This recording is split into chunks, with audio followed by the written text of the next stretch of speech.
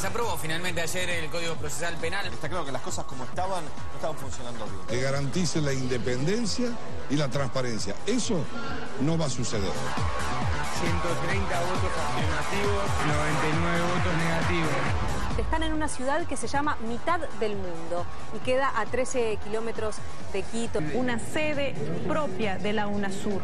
Reconocimiento a un hombre impulsor también. De lo que se trata es tolerancia cero cuando se va a conducir. Millones de personas quisieran estar el próximo 14 de diciembre, domingo. La cola llega hasta acá. ¿La cola llega hasta acá? Sí, mira. Movela redondo, serpentiala, serpentiala. Cristina Fernández de Kirchner, candidata a diputada por el Parlamento del Mercosur, el Parla Sur. Cristina sí va a buscar impunidad, porque la necesita. En definitiva le tienen miedo a la gente, le tienen miedo al voto popular. Por ahora lo que hay sí es un acercamiento evidente entre el PRO y Elisa Carrió. Se encontraron, como se ve en la foto, Mauricio Macri y Elisa Carrió. Viajaba en un auto que quedó en medio de una persecución policial. Murió. Se fue a una mejor vida. Un preso al que lo tendrían que haber analizado psicológicamente para saber si le daban la libertad. Histórico hecho. Directo a Marte, el Orión. Vuelo no tripulado. Va a viajar 5.800 kilómetros.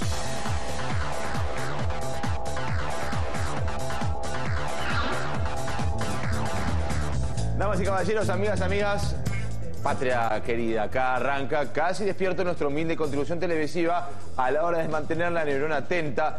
El periodismo no, ha muerto. Hoy, hoy, hoy, Pablo. Casi despierto. Casi despierto. Esto se edita, empieza de nuevo. Ahí vamos a avanzar. Hola, buenas noches, amigas, amigos. Casi dormido está. Casi despierto ese programa, no, porque hay un, un fragmentito, una nota que le hice esta mañana a Parrilli, lo vi justo, se me, se me pegaron los contactos, vieron ustedes a esta altura del año. Levante la mano el que lo está semi quemado. Esto es hoy, hoy, hoy, nuestra humilde contribución televisiva a la hora de mantener la. Ahora, ahí está. Yo vi movimiento. no lo sabíamos. ¿qué- ¿Dónde estábamos? No Bien, entendí. gracias. No, ¿por dónde había que pasar a cobrar? Porque yo, yo otro programa, la lo factura, cobro, sí. lo cobro. Eh, tengo cosas muy interesantes para decir, pero me las olvidé todas. En mi casa me sale, es una de las remeras que voy a hacer. ¿Eh? ¿Viste esa gente que cuando va al no y, y se confunde, o el chiste, o el tema? La remera sería en mi casa me sale. Está bien. En vez de sobre de azúcar, voy a poner por el lado de las remeras.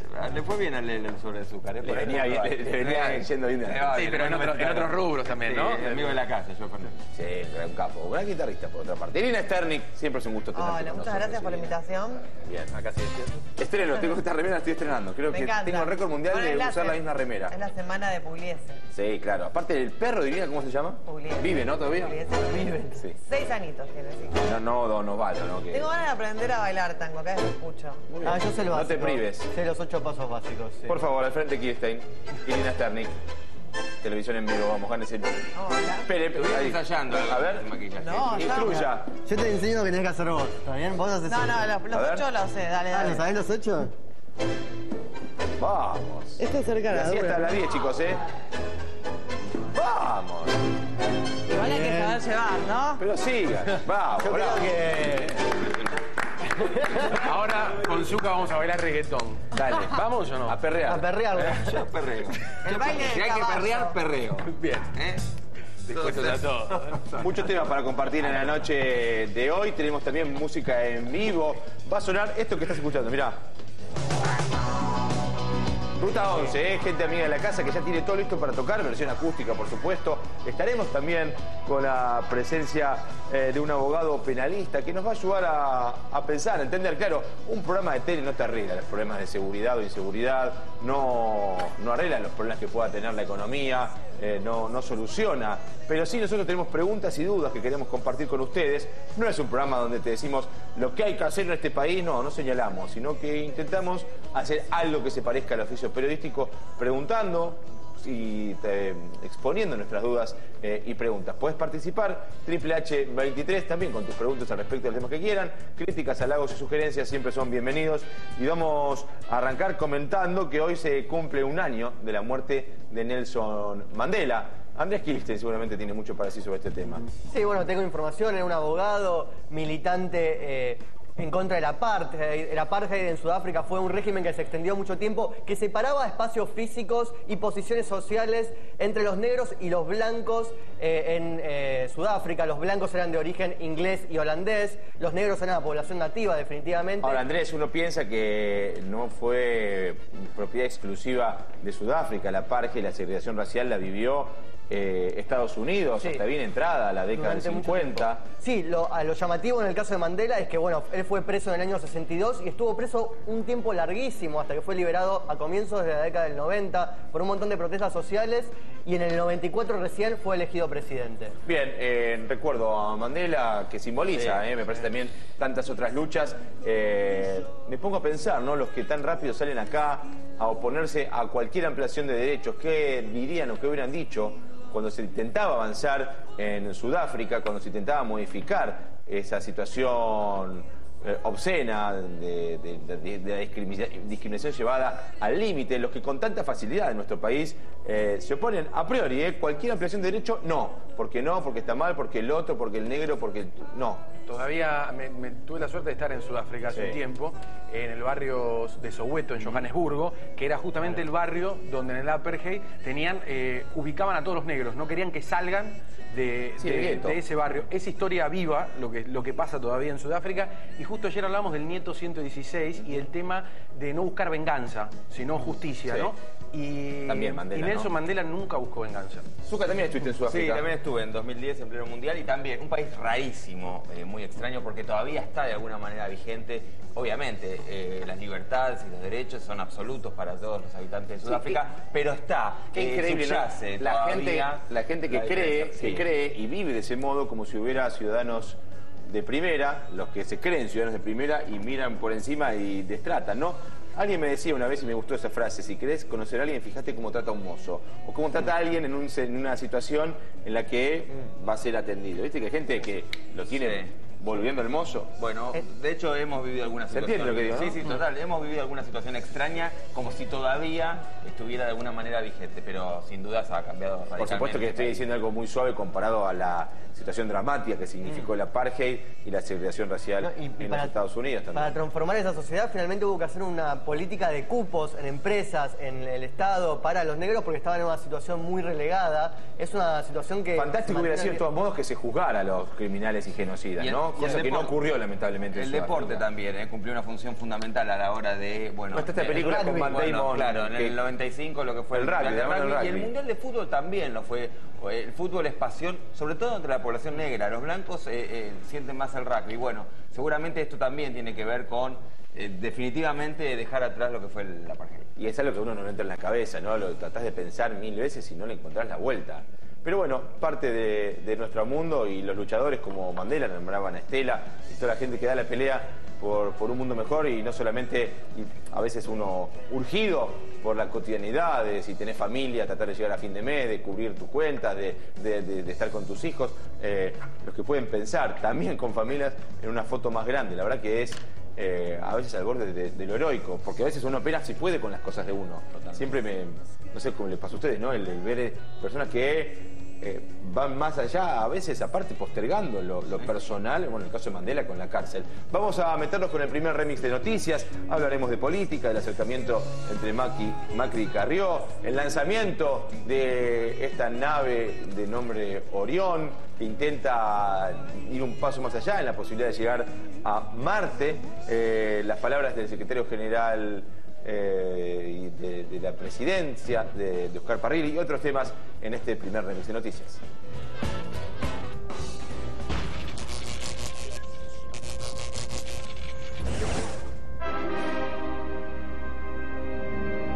Ahora sí, el despegue del Orión. Bueno, finalmente el cohete Orión despegó. Y comienza la otra etapa, la de la órbita, que tendrá que dar por lo menos dos vueltas a la Tierra para poder reingresar. Directo a Marte, el Orión.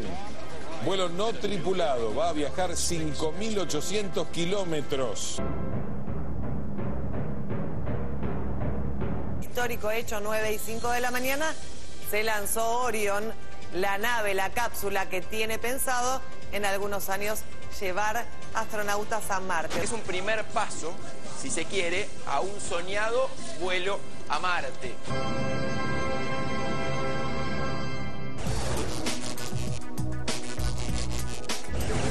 Por ahora lo que hay sí es un acercamiento evidente entre el PRO y Elisa Carrió. Lo que hubo anoche fue una cena. Esta fue la excusa, fue organizada por eh, Gabriela Michetti, es una cena de la Fundación Suma, la fundación que conduce Gabriela Michetti, y allí se encontraron, como se ve en la foto, Mauricio Macri y Elisa Carrió por primera vez después de que la diputada diera el portazo al frente UNEN y criticando a sus dirigentes y se acercara más hacia el macrismo.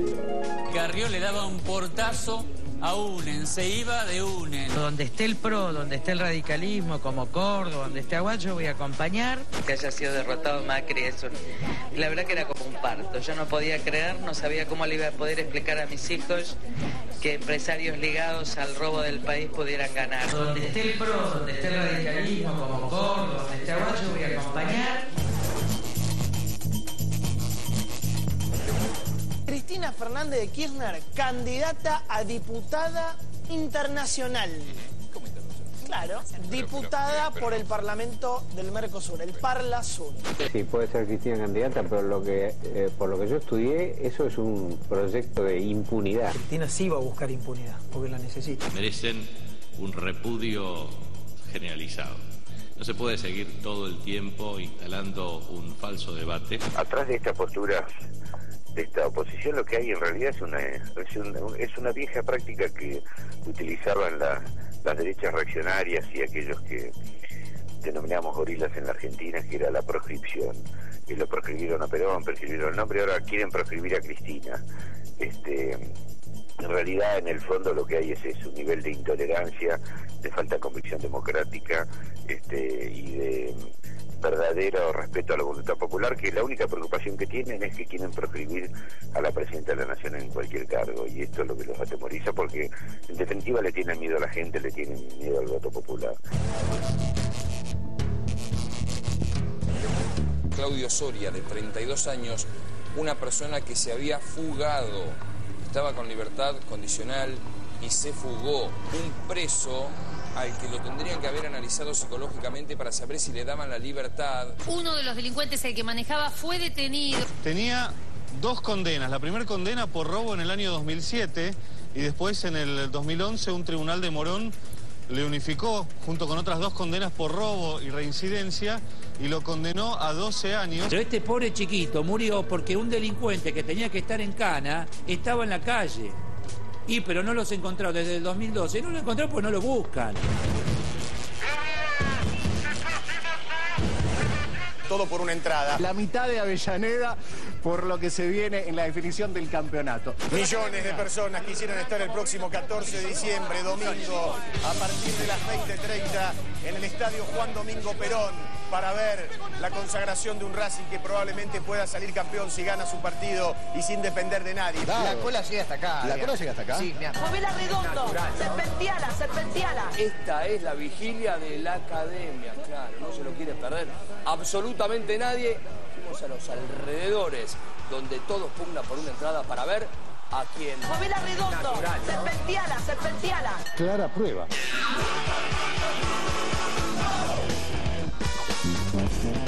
Amigas y amigos, temas variados. Eh, alguien puede decir que algo de sexismo hubo en este informe. Les pido las disculpas del caso. Eh, quiero presentarle a Tomás Farini. Él es abogado penalista. Tomás, ¿cómo estás? Buenas noches. Ya vamos a ir y voy a dejar para este, redondear este informe. Me parece uno de los temas más desgarradores, sobre todo porque la víctima es un chiquito este, de 11, 12 años que murió en una situación tan, tan dramática. Eh, quiero decir, arranco por acá, no lo dejo para el final. Eh, hay una gran discusión en torno a, a cómo se dispone de las salidas transitorias de los presos que ya han cumplido más, entiendo yo, de dos tercios de, de su condena. Más allá a veces de, eh, si se quiere, cierta sobreactuación que uno puede ver en algunas personas en los medios, hay una ley y los jueces deben cumplir lo que dice la ley. En este caso, eh, ¿Había alguna posibilidad distinta a la que, decisión que tomó la jueza? ¿En qué caso es una persona que está condenada? Creo que esta persona tenía una condena de 12 años y salió a los 7 años y, y algo. Uno sabe que las personas que cumplen su condena tienen que de algún momento volver, cumplir la condena a la, a la sociedad. ¿Qué nos puedes contar? Pongamos un poco de contexto con este tema. Perfecto. Primero, eh, la libertad condicional no es un deber de los jueces, es una opción, digamos, una posibilidad. Es decir, eh, lo- los, condenados que cumplen dos tercios de la pena o 35 años en casos de reclusión perpetua tienen derecho a pedir la libertad condicional bajo determinadas condiciones, por cierto, y cumpliendo determinados requisitos. Es decir, tiene que haber eh, eh, informes del, servi- del servicio penitenciario que sean favorables, tiene que haber informes de diferentes profesionales que así también este, lo, avalen. El juez en algunos casos debe conocer y debe tratar al, al- al condenado y en esas condiciones, es decir, cuando se han dado todas estas garantías, incluso hay una, por cierto, el- el- el- el- la persona que tiene este, este beneficio, esta posibilidad, tiene que cumplir una cantidad de requisitos que debe ser controlado por, por un patronato.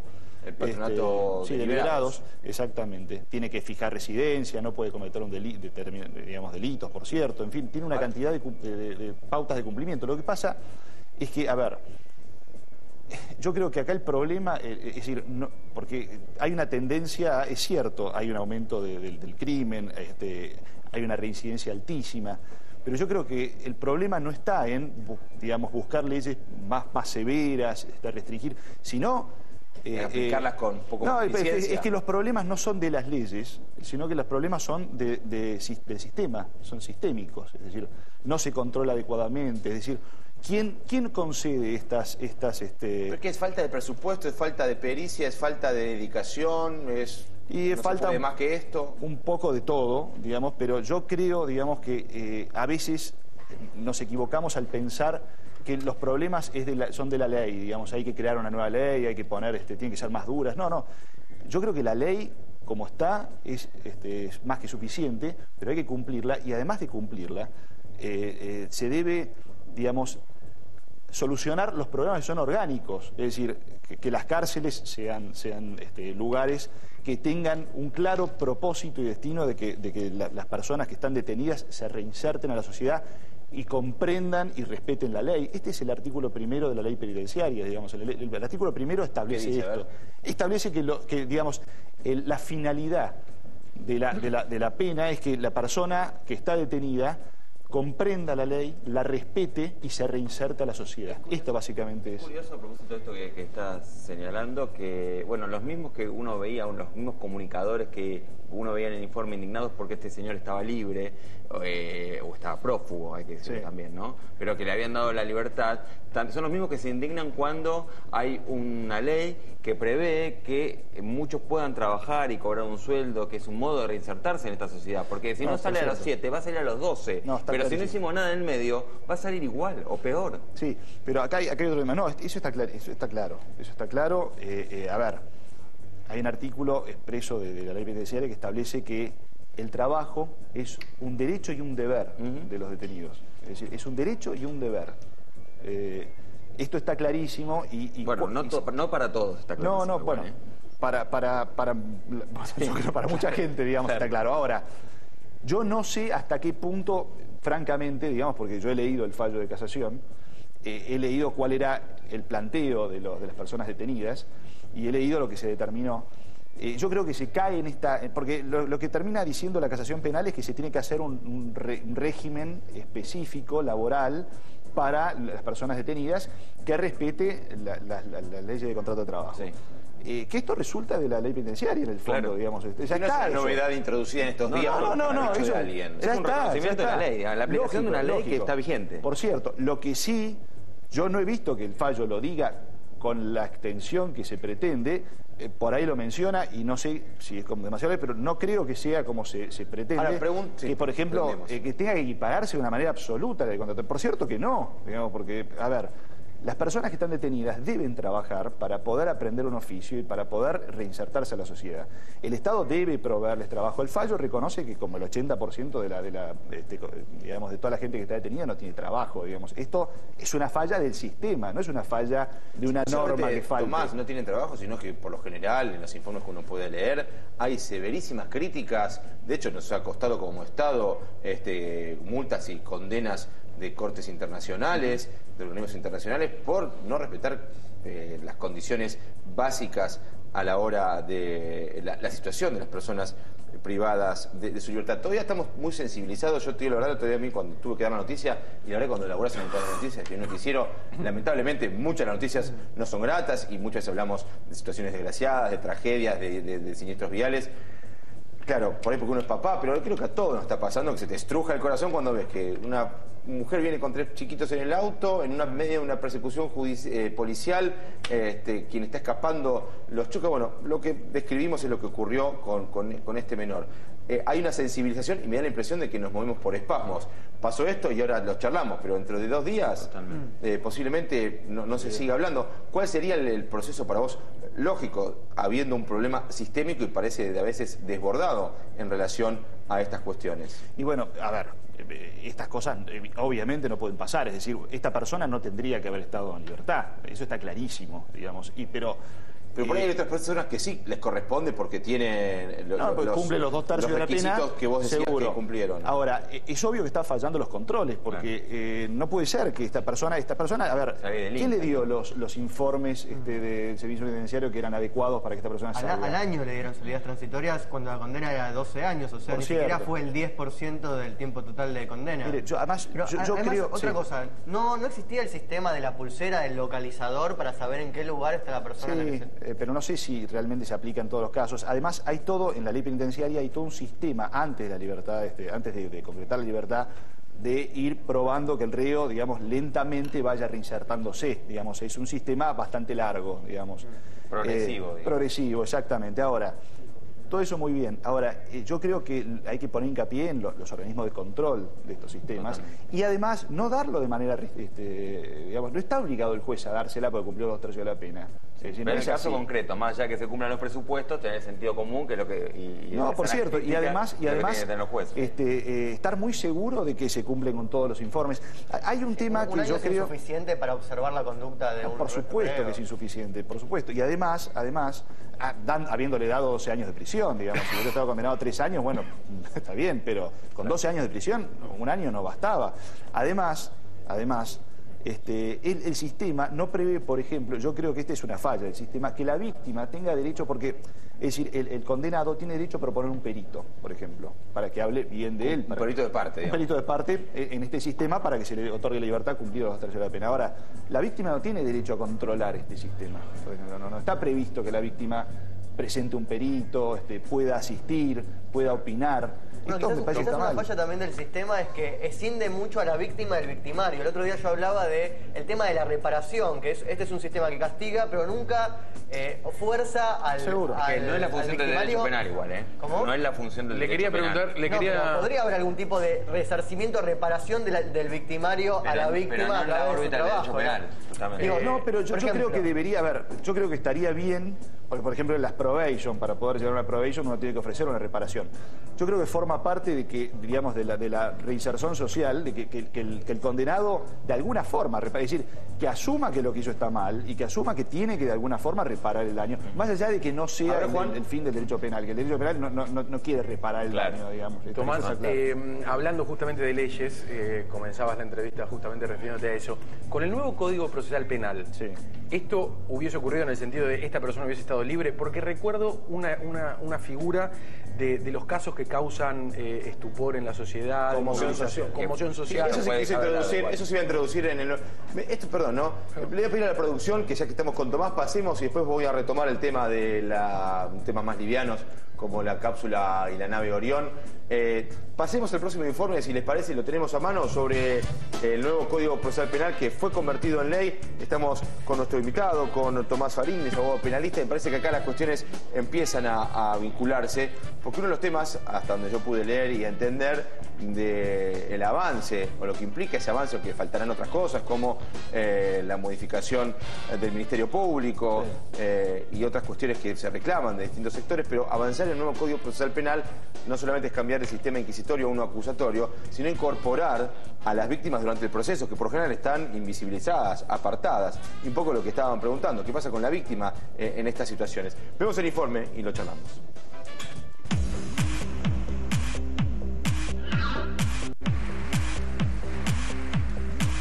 130 votos afirmativos, 99 votos negativos. Resulta afirmativo.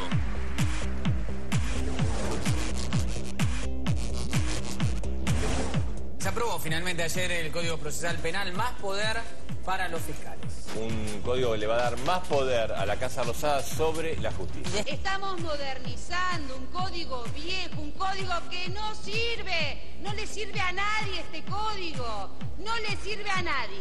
Le sirve a una docena de jueces que tienen el poder en sus manos y a todos los argentinos y argentinas. Y ustedes lo saben bien.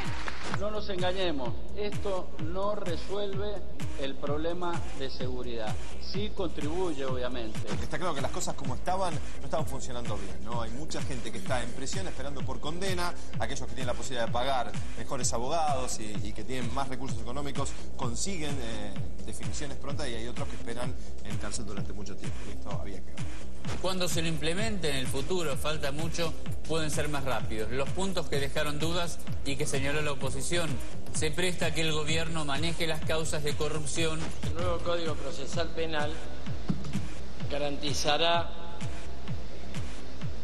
una impunidad del poder por la vía de designaciones de nuevos fiscales, de 1.600 personas. Y hemos decidido salir de una discusión absurda, que es la discusión alrededor de el código en términos de poder. Acá se trata de algo mucho más importante, que es darle respuesta a la víctima. Por eso creemos que es el tiempo de plasmar en el código, además de los derechos del delincuente a un debido proceso, el derecho de la víctima y de la sociedad a conseguir una justa reparación. Se desató una polémica fuerte. El gobierno y también sectores de la oposición, pero sobre todo Bernie, que es el que encabeza esto, está haciendo una campaña muy fuerte para decir que hay que deportar a los extranjeros que vienen a delinquir a la Argentina. Vale la pena recordar que no es una deportación masiva de extranjeros, hablamos de extranjeros primero que tengan una situación irregular en cuanto a documentación, es decir, ilegales, y además que sean eh, que se los encuentre con las manos en la masa. Ningún país del mundo recibe a nadie que venga eh, sin ninguna intención sana así que está bien ese tipo de discusiones. Lo que yo digo es, delincuencia tenemos de todo tipo y no solo la extranjera. Claro que el que delinque de manera extranjera tiene que ser deportado. No se puede poner eso en un código procesal. Eh, es una materia penal, es cambiar una pena de prisión por una pena de extrañamiento. Eso es materia del derecho penal de fondo.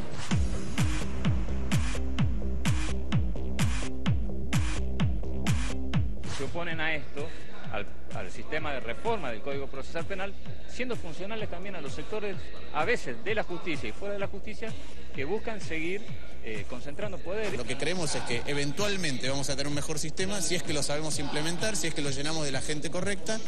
Y mientras tanto, lamentablemente, el kirchnerismo lo que decidió es llenar inmediatamente los cargos. La razón de ser era que esté alejado del poder del Ejecutivo y del Poder del Legislativo, que garantice la independencia y la transparencia. Eso no va a suceder. automáticamente empiezan a tratar la idea de crear la comisión medicamental que investigue las 4.040 cuentas de argentinos depositadas en Suiza.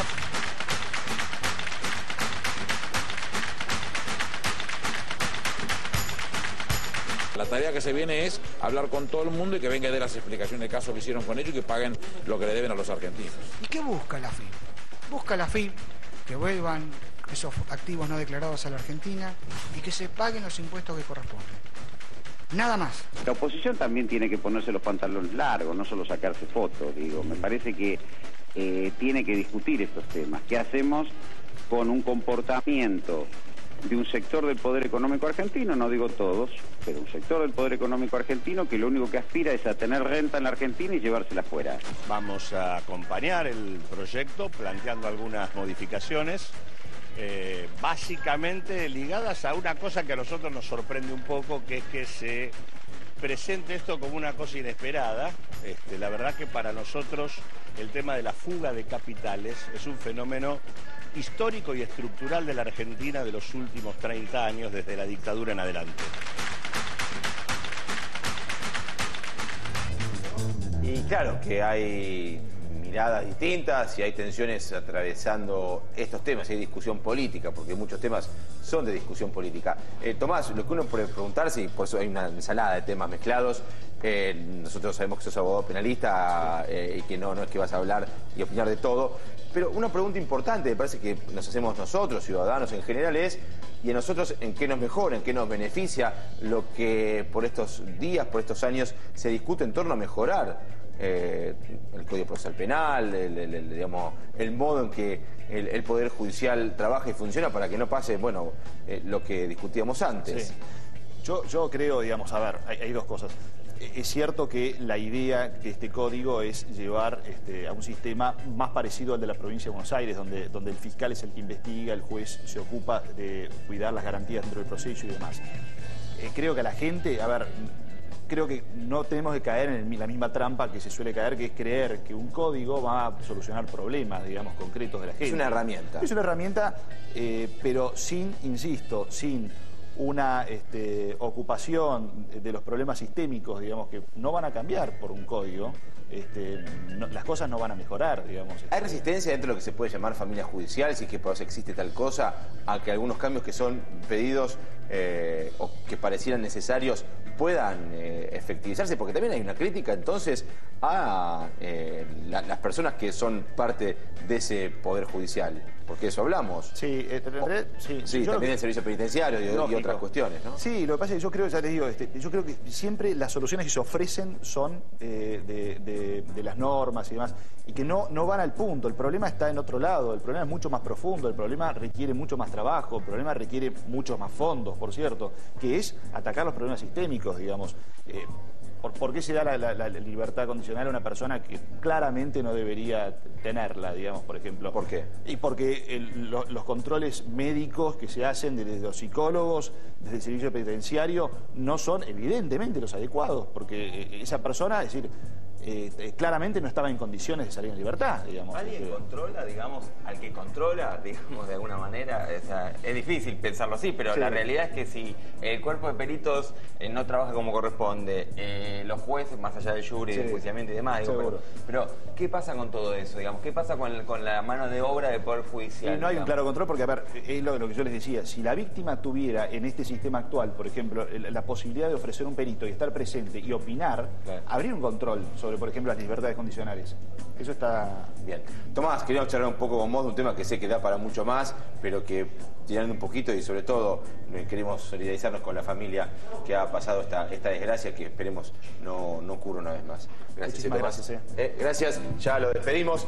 Bien, te acompaño hasta la salida. Gracias. Por acá, sí, yo lo, he atendido por, por, acá. Acá está ahí, está la puerta, la, la gran puerta. Se nos va el abogado penalista. Bien. Eh, de la dura realidad pasamos a algo que parecía ciencia ficción hace un tiempo y que cada paso que se da pareciera más cercana a la posibilidad de al menos llegar. No se sabe qué va a pasar cuando lleguemos. Parece que será recién en el 2020 algo, Irina. Sí, es muy interesante la misión histórica porque desde el 71 que la NASA no enviaba un cohete al espacio. Estamos hablando de la última misión, el Apolo 17. Y lo de hoy fue la primer prueba piloto para ver cómo se comporta Orión, esta cápsula, en una distancia 15 veces mayor de la de la Estación Espacial Internacional, a casi 6.000 metros de altura. Pero no es para ir a Marte, es para un montón de otras cosas. En primer lugar, porque tiene estipulada la próxima misión a la Luna en el 2018.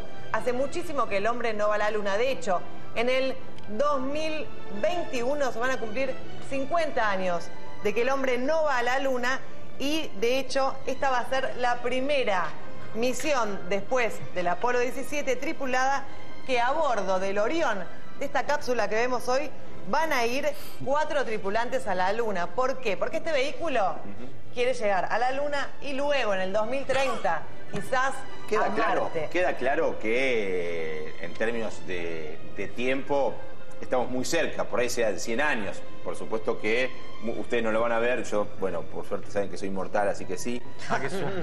No, no, digo, pero cuando ves el- el- todo el tiempo que se tardó en términos de evolución de nuestras capacidades tecnológicas, pareciera, no sé, por ahí me equivoco, que eh, es geométrico el, el avance, va lento, digo, comparado con los tiempos biológicos de uno, pero en 50 o 100 años parecería que esto va a ser algo... Y aparte sale Cercano, tanto ¿no? dinero, ese es el problema. La NASA había suspendido el presupuesto para este tipo de operaciones y ahora retomó la carrera espacial. Me pongo, me pongo en Yoleno, ¿no? Que bien que estaría, que uno que estaría dejar de hacer guerras, que sale mucha más plata. Eso te iba a decir, gastaron Sí, plata Para dedicarle la- el presupuesto a la investigación, al presupuesto a la salud, al que al, al evitar enfermedades que son De evitables. hecho, hoy escuchaba a un científico argentino que trabaja en la NASA que decía que ya la NASA está en condiciones de, bueno, armar la, movida de ocupar otro planeta. Simplemente la decisión es política, obviamente la decisión es económica también. Por eso todavía hoy no se hace, pero digamos, eh, técnicamente, tecnológicamente, eso se podría hacer hoy. Podríamos ir yendo, ¿no? Sí. Ya se, venden, ya se venden terrenos en la Luna y en Marte si vos confías en esos títulos No, eso es que bulo. circulan por internet. Sí, sí, también tuvimos a FJP, digo. Chor- chorreos hay en todas partes. Bueno, no, que, que- que en, en España se dice mentira bulo. ¿Bulo? Bulo. Eh, Bulo es igual es un, lindo, ¿no? es un lindo regalo, ¿no? Un regalo para tu No. mujer, por Para ejemplo. compré muy- una par- muy lejos, ¿no? Hay que decir, Aparte no podés volver. Quizás es la solución. Pero el viaje puede ser divertido. Sí, exacto. Algunos datos de color se llevaron en un microchip nombres de más de mil personas. ¿Viste que se llevan cosas a, a- a la Sí. luna, por ejemplo, que está llena de Bien. regalitos nuestros? Se llevaron muñecos de Plaza Sésamo, Pablo. Ah, mira qué lindo. Y un tiranosaurio rex. ¿Vivo? Bien, vamos con una sección muy esperada, ¿eh? sobre todo por la madre de Andrés Kilstein. Así es. ¿Quién es madre de Andrés Kilstein, no? Sí, sí, Ah, no, metiste la pata por Gracias. el momento, ¿no? Respuestas existenciales para preguntas simples. Firmado, producido, craneado por Andrés Kilstein. Hoy creo que tiene que ver con viajes en avión. Así es, con sugerencias, consejos para viajes en avión. Dale, veamos entonces la primera pregunta de Andrés en este viernes. Vamos que es viernes. ¿Dónde hay que sentarse para sentir menos la turbulencia? Buena ¿Qué pregunta. Eh, cerca del ala. Exactamente, porque... Perdón, no quería spoiler. No, no, está bien, tenías razón. El avión vuela por la sustentación y el eje de sustentación son las alas. Quiere decir Sí. que atrás o adelante, más turbulencia. Y aparte al lado de la puerta de emergencia, es cierto que no se reclina, pero hay más espacio. Sí, podés estirar las patas. Algunas aerolíneas están cobrando un extra. Sí. Una vergüenza, quiero decir, quiero denunciarlo. Ahora, me parece a mí los asientos están cada vez más cerca. Sí, exacto. Sí, Próxima pregunta. una fila más. Vamos con la próxima. ¿A qué hora del día eh, habría que viajar para sentir menos la turbulencia? Exactamente, ¿a qué hora del día sentís menos la turbulencia? Esto lo investigué temprano a la mañana.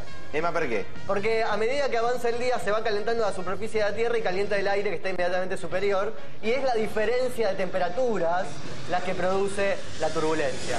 Entonces, a la mañana menos temperatura. ¿Podemos menos probarlo con un avioncito de papel acá en el estudio? Ahora la luz, hay más calor. A ver si... Próxima. No, pero es No. cierto lo que dice Andrés, nosotros los aeronáuticos lo No, para sabemos. probar. ¿no? La ciencia es prueba, la ciencia es prueba. ¿Por qué no hay que pararse a sacar nada del compartimiento del bolso de mano? ¿Por qué? Las estadísticas dicen que hay más riesgo de sufrir una lesión en la cabeza cuando te parás a buscar algo del compartimento que eh, por, por muerte por accidente, digamos. Esto ocurre más veces la lesión con el golpe de cabeza, por el salto de aire, que cualquier otro Igual a mí lo que más terror me da en los Sí. aviones son los, las personas ruidosas. Bueno, dan mucho terror. Imagínate toda la noche con un, un bebé. mí- a mí el Yo pollo, suelo, el pollo que te en el avión sí, no, suelo usar tapones para oídos. Y las olorosas, oh. Bueno, recomiendo, para, para, zapatos. otra, tengo dos recomendaciones. Sí. Tapones para oídos, ¿vieron como en las autopsias, cuando ves en las películas? Pañuelo. Te pones la, la pomadita china. Tal cual. Y los que usan el celular, Y que después se dice que no pueden viajé usar. 13 horas, llegó quemado. Y tiene, razón Zuka que el pollo ofrece más riesgos. Sí, es más sí. probable que Yo el me pollo intoxiqué, me, contaminado. me intoxiqué Sí. y la pasé muy mal. Próxima pregunta. Juicio, la aerolínea. ¿Qué es indispensable llevar para la espera en los aeropuertos? Sí, muchas veces uno combina vuelos y por lo tanto tiene mucho tiempo de espera en los aeropuertos y te digo un consejo súper útil. ¿Qué no puede faltar en una espera de aeropuersto? ¿Cerveza? No. No, no. Sí, eso es. Zap- una pequeña zapatilla. No zapatilla de calzar, Ah, sino para enchufar. para enchufar, porque vas a encontrar en la, en la sala de espera que todos los tomacorrientes están ocupados. Entonces le decís a un señor, amablemente, ¿podría retirar que yo ponga la zapatilla y nos conectamos Y todos? lo alquilás, le alquilás el enchufe. Y el No, tipo, y el es tipo un te dice no, y el tipo económico. te dice no, buscate otro. Se mete la zapatilla en, la- en el bolso de mano. En el bolso de mano. Ahora yo tengo una pregunta. Si eh, uno quiere tomar un café, ¿por qué pareciera que está tratando de comprar un terreno en vez de tomarse un café? En Marte. ¿Por qué tan caro? Próxima pregunta de Kilstein. Precio internacional. ¿Cómo identificar rápidamente tu valija en la cinta? Este es un truco que un poco se conoce. Es la que está abierta. Es la, claro, es la que viene La saqueada. que viene con cinta bebé colorada que ahora todos le ponen el mismo color de cinta. Exactamente, un moño rojo. Lo que pasa es que el moño rojo ya está en uso, entonces Claro. hay que buscar otro color de moños, un moño plateado, por ejemplo, o dorado. Bien, ¿ha terminado Kilstein? Sí, Te quiero decir que una vez tuve, viví la gran experiencia de nunca encontrar mi valija, nunca estuvo en la cinta y la perdieron, nunca más apareció. Yo fui, Buenísimo. al- yo hice al revés. Voló, voló. Escuchá, escuchá, Sí, sí, salgo, llego a destino, ¿eh? Y digo, uy, mi valija nunca me pasó que sea la primera. La agarro, re contento, llego y le digo a mi amigo en el hotel, oh, qué tarado, me pusiste un candado en la valija. ¿Qué me dice? No, que mi valija le pusiste un candado, tarado, no es gracioso. Es importante. Y me dice, no, a ver, para, era igual a mi valija. Abrimos la valija y No me- estaba llena, pará, de remedios No. cardíacos. Recuerdo el nombre del señor Abelino. Llamé rápidamente. Un beso a los el que herederos, yo, ¿no? Le mandamos un beso a los herederos. yo, le, yo le hice llegar la valija, la mía nunca llegó. O sea que estuve esos 10 días por de viaje eh, sin ropa. Eh, usaba el pelo largo por esa época y lo que hice, estaba en una playa, me compré una malla. A las 12 horas estaba preso. Era una película de Chevy Chase. Terminé preso por un crimen que no cometí. Bueno, Amigas- no con intención al menos. No. Eh, de ahí me quedó mi apodo canario, que mis amigos del barrio me suelen decir. ¿Qué de la vida de Belino hoy? ¿Vive? Desconozco. Amigas, amigos, tenemos música en vivo. Presentamos a los amigos de Ruta 11. ¿Cómo les va? Bien, ¿cómo andan? Bien, bárbaro. Acá muy contentos de estar acá. Bien, eh, son cuatro los integrantes originales de esta, de esta banda, pero han venido dos que son Denis. Exactamente, yo. ¿Sí? Denis Spagnoli y Luciano Prieto, que está en la batería y coros. Suenan muy bien, suelen, insisto, ser cuatro, se llaman Ruta 11 y la mejor manera de conocer a un grupo, una banda, es escuchando lo que hacen. Chicos, bienvenidos y ¿qué es lo que van a hacer? El corte, generador. Así lleva el nombre del disco. Ruta 11 suena hoy viernes a la noche.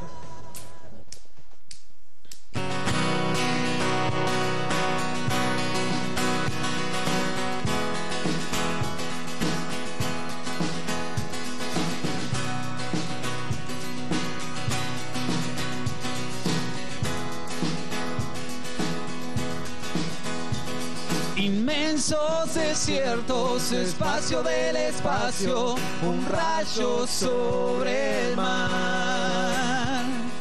Planes pendientes que buscan su momento, la gran oportunidad. Semilla olvidada en la sombra de un bosque consigue mostrar su flor. Levanta las anclas, enciende el generador.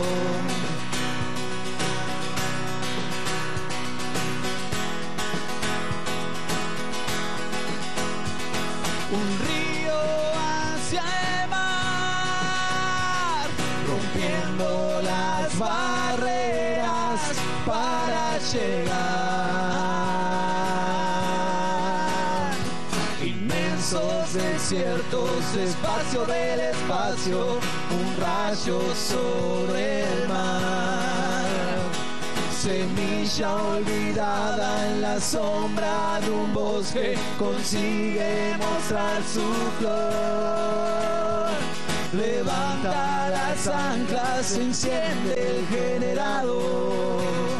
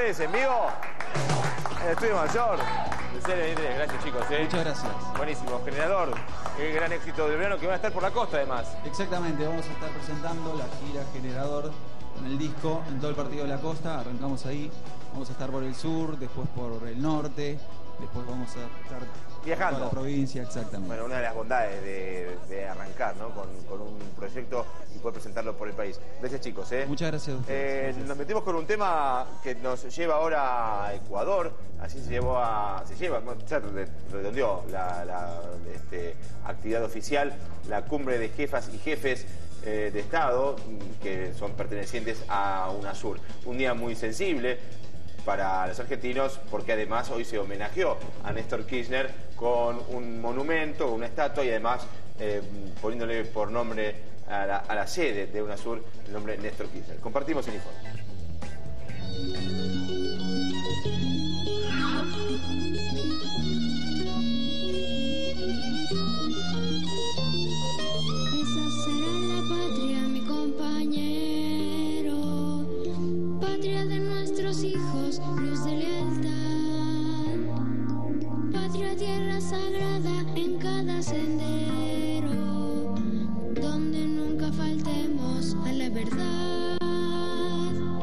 Imponente edificio que servirá de espacio para encuentro de los miembros de la Unión de Naciones Suramericanas. Están en una ciudad que se llama Mitad del Mundo y queda a 13 kilómetros de Quito, nada más allí sobre la línea del Ecuador, es donde va a estar este importante edificio que será esta nueva sede. Una sede propia de la UNASUR. Este edificio muy moderno que se construyó en Quito, la sede del organismo de la UNASUR, 20.000 metros cuadrados, que además también alberga una estatua del expresidente Néstor Kirchner, recordemos el primer presidente de este mm, cuerpo. Reconocimiento a un hombre impulsor también, a uno de los impulsores de este organismo internacional como es la UNASUR.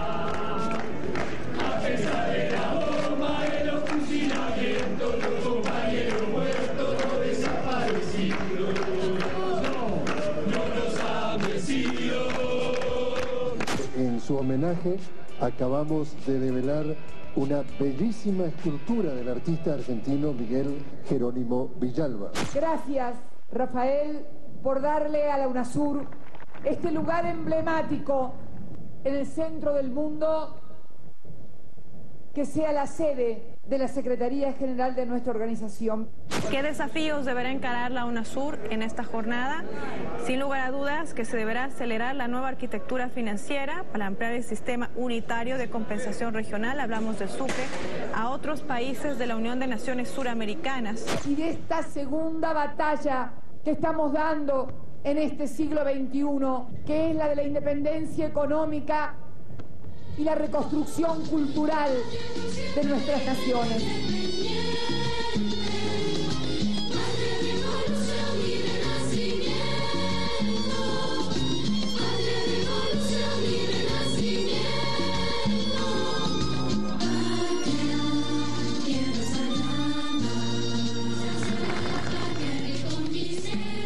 Cierto que de la mano de pérdidas fundamentales, como fue la del expresidente Néstor Kirchner, la de Hugo Chávez, digo, fundamentales en términos de- del impulso a la integración regional, eh, bueno, pareciera querer dársele, bueno, más vigor.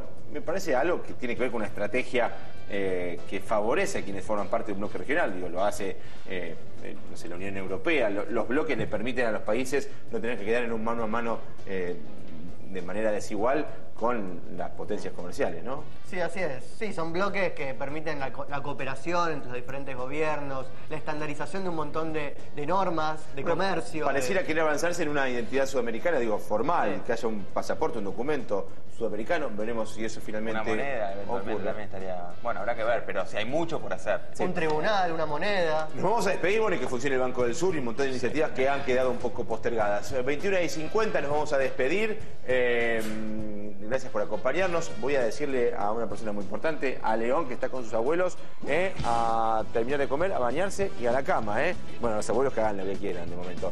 Irina, siempre es un gusto. Eh. Muchachos, como siempre, la seguimos la semana que viene. Eh, Shabbat Shalom, si van a manejar, eh, no beban. Y si beben, no manejen. Nos despedimos escuchando a los amigos de Ruta 11. Chicos, gracias por venir. Eh. No, muchísimas gracias. Próximo tema, nos escuchamos. Solo la ruta y yo.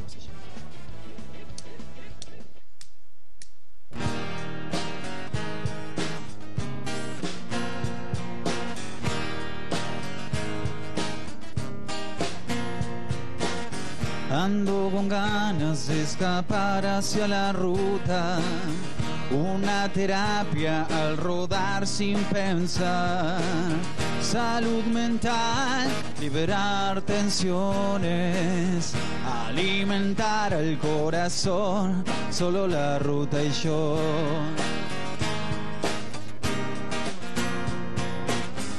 Quizás la luna me acompañe alguna vez, tal vez.